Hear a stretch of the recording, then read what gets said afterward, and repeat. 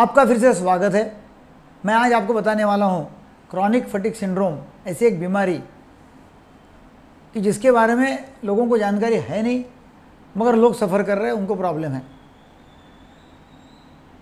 इसमें होता क्या है कि उसमें थकान आती है और छः महीने से यदि थकान बिना वजह की है, कोई वजह नहीं है, कोई कामकाज नहीं किया, कोई मेहनत नहीं किया हुआ है, या कोई श्रम नहीं किया हुआ उसके बाद में थकान है और छः महीने से ज़्यादा थकान है तो हम बोलते कि नहीं, उसको क्रॉनिक फटिक सिंड्रोम है।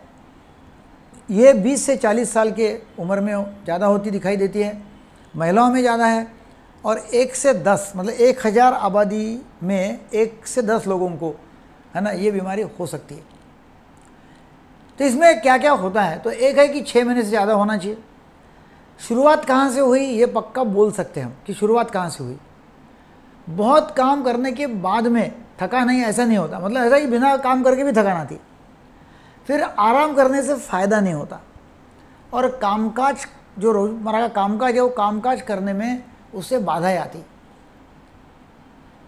तो ये उसके प्रमुख लक्षण है।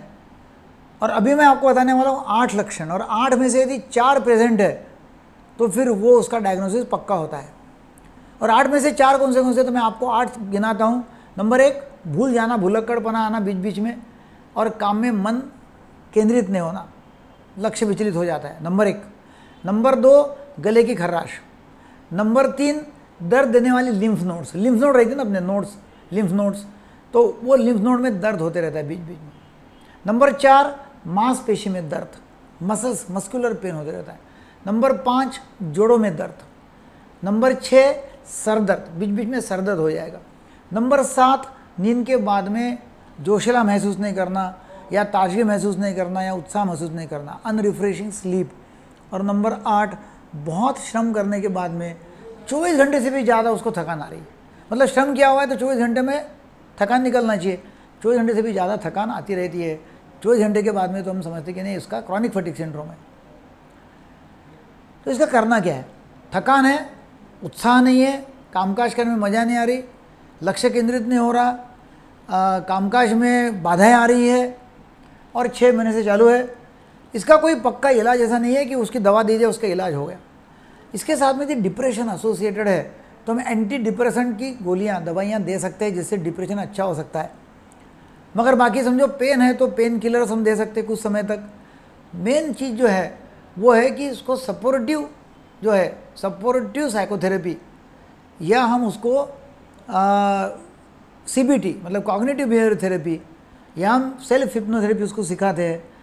उसमें क्या क्या प्रॉब्लम्स है ज़िंदगी जीने में उसके बारे में चर्चा करते हैं और कुछ सपोर्टिव एंटी डिप्रेशन देते हैं तो उसमें फ़ायदा होता है।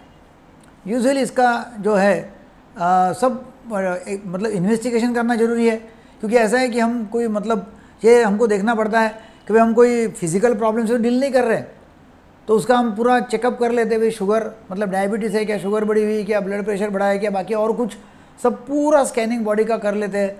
पूरी इन्वेस्टिगेशन जाँच पड़ताल करने के बाद में, जब सब रिपोर्ट नॉर्मल आते हैं, तब हम बोलते कि नहीं, और छः महीने से ज़्यादा है तो बोलते क्रॉनिक फटिक सिंड्रोम है। तो ये इसका इलाज होना ज़रूरी है, और काफ़ी सारे लोग हमारे आजू बाजू में रहते होंगे कि जिनको ये प्रॉब्लम है, मगर उनको मालूम ही नहीं कि ये प्रॉब्लम है या ये बीमारी है।